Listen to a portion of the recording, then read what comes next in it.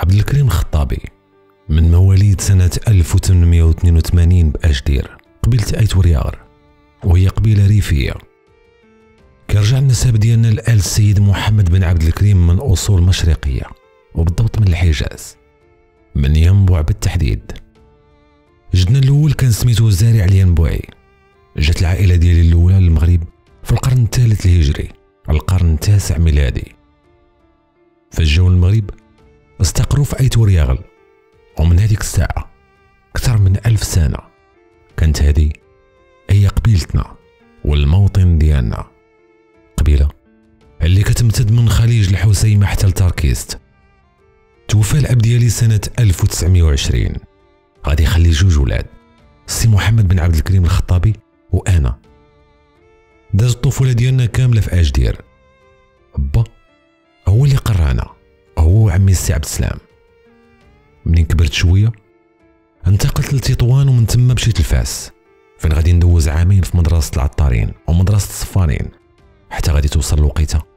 باش غادي ندخل لجامعة القرويين. وبعد مدة رجعت للأسرة ديالي. جلست معاهم شوية ورجعت مرة أخرى لفاس بحيث غادي نجلس ست شهور تما. هاد ست شهور ما مشيتش نقرأ بحال المرة الأولى. هاد المرة مشيت في مهمة رسلني ليها الأب ديالي.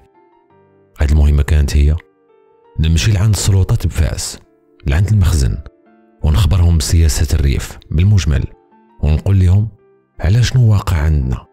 لحقاش بزاف ديال الأعيان ديال الريف أعلنوا الولاء ديالهم لبوحمارة الروكي المسمى الجلالي بن عبد السلام بن دريس اليوسفي الزرهوني.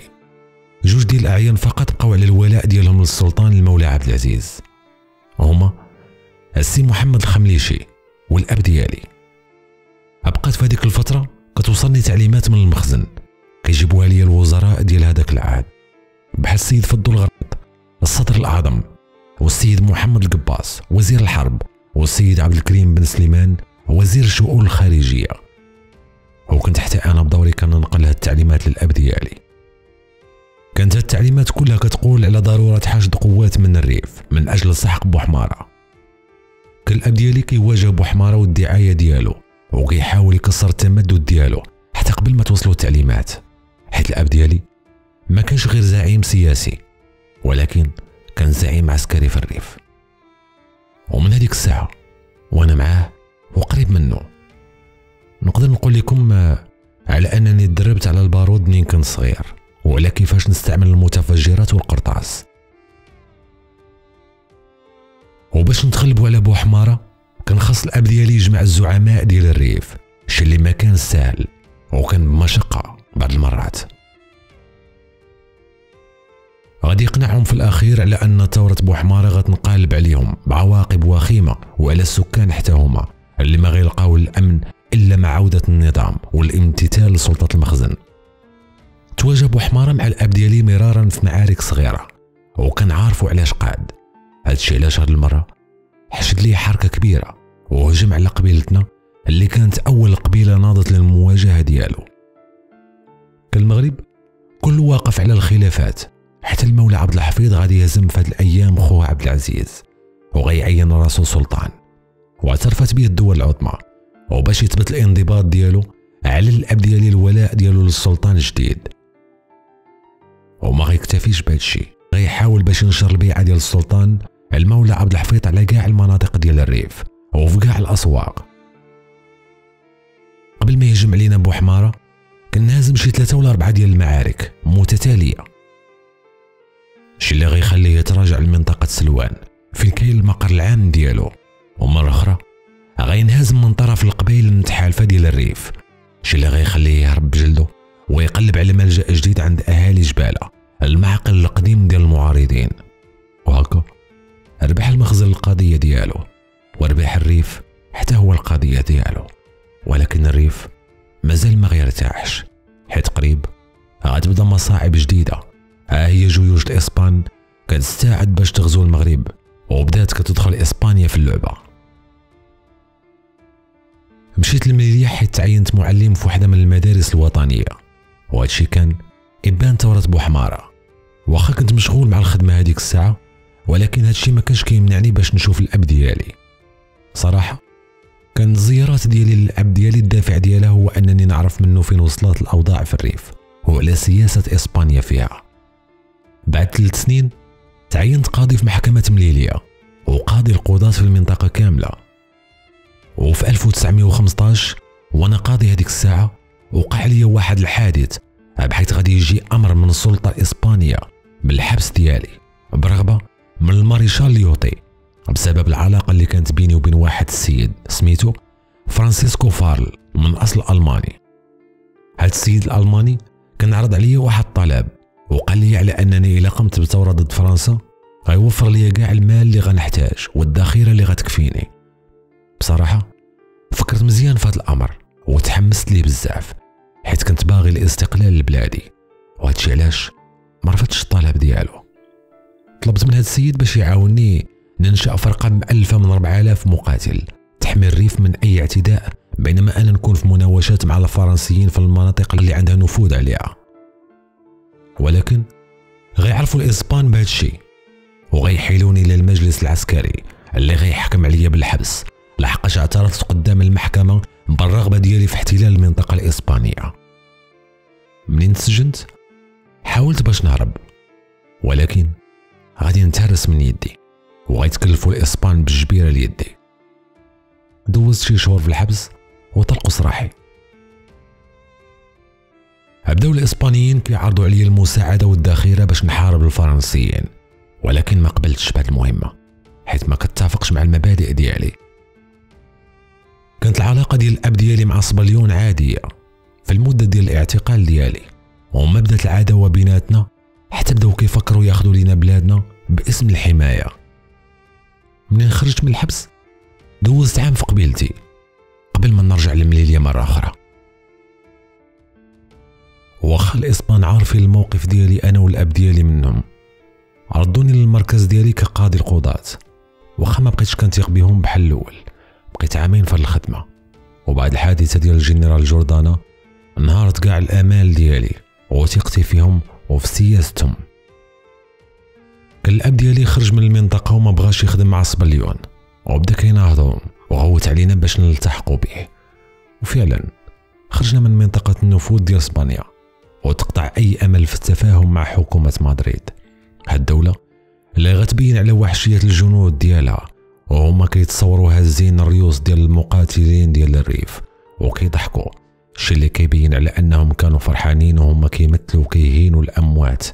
هاد العمل اللي ما كتقبلو لا مدنية ولا حتى شي شريعة. كان الاب ديالي انسان كيبغي السلم لدرجة أنه سنة 1919 قال لنا على أنه حتى ولو إسبانيا قررت باش تستولي على الريف فأنا غادي ننزح لفاس ولا أي بلاد أخرى. باش ما نجيبش لولاد بلادي. البؤس والدمار. واخا كان الأب ديالي كيدير الشؤون ديال القبيلة بالحياد وما كيدخلش نهائيا مع الإسبان في مواجهة. كانوا هما ديما كيلصقوا ليه التهم فين ما كانت شي جريمة في الريف ولا اجتماع سري ولا سرقة إلا وكيحملوا المسؤولية للأب ديالي. كانوا كيحاولوا بهادشي يقولوا على أن الحياد ديالو سلبي وكيغطي على هادشي باش يدفع الناس للشغب غيبداو يحرقوا الديور ديال القبيلة والفيرمات ديال ولاد القبيلة. وكيقولوا لهم على أن الخطابي هو سبب هادشي كامل بسبب التعنت ديالو حيث رفض أنهم يساوموه من بعد ورفض يخدم معاهم لا هو ولا أنا وخويا. واخا عياو ما يغريو فينا بالخدمة والدراسة في إسبانيا. عيا معاهم الأب ديالي كيقول لهم باللي راني على الحياد حتى من الجامع والسوق ما كنمشيش ليه باش ما تقولوش كيحرض الناس عليكم. ولكن والو غيزيدوا هما في التضييق عليه وعلى قبيلتنا. حتى غيقرر بالصح ينظم ثوره ضدهم. غادي يخرج الأب ديالي من العزلة وغيبدا يدعو الناس للثورة في الريف وكيدور على قبايلو بالطول وبالعرض. كنتي كتشوفو في السواق الجوامع وبين القبايل كيدعو للثورة ضد الإسبان. في حالة ما بغاو يستوليو على الريف. غادي يجمع الأب ديالي 200 مقاتل ولكن غيكون حريص على أنه القرطاسة الأولى ما تكونش منا حنا. غادي يجمع الرجال ديالو قدام تافريست قريب من مراكز إسبانيا. في الوقت اللي كان با قدام تافريست كنت أنا وخويا في أجدير. كننظموا الشؤون ديال الثورة وكنستعدوا للحرب. وبعد ما وقف الأب ديالي 22 يوم غادي يمرض على غفلة. وبزاف اللي قالوا على أن الأب ديالي داروا ليه السم. وأنا ولو ما عنديش دليل إلا أنني كان آمن إيمان مطلق بهذه الفكرة. وكنظن أن فيه بزاف ديال الحقيقة. إذا توفى الوالد ديالي بعد 22 يوم المرض ديالو. في الأول اتفقت أنا وخويا باش نديرو المستحيل باش نتجنبوا الحرب لدرجة أننا قررنا بعد وفاة الأب ديالي بيومين باش نكتبوا للقيادة الإسبانية كنطلبوا منها تغير السياسات ديالها. ما عرفتش علاش إسبانيا كانت مصرة على الحرب واش ما عرفاش على أننا كلنا غندخلوا من باب واحد وكلنا غنموتوا فاش كنا كنقراو في إسبانيا كانوا بزاف من سكان الريف كيتهمونا على أننا من الأنصار ديال إسبانيا. وغادي ندوزو شهور وحنا كنحاولوا نحيدوا هاد الأفكار من ريوس السكان. هاد الدعاية اللي كان الهدف ديالها القضاء علينا. أكيد كتسولوا كيفاش الخطابي والمقاتلين اللي معاه كانوا كيتسلحوا. ومنين كانت كتجيهم الفلوس باش يمولوا الثورة ديالهم؟ بالنسبة للسلاح ما كاينش موجود منه. بالنسبة للسكان ديالنا كانوا أصلا عندهم السلاح من الأول.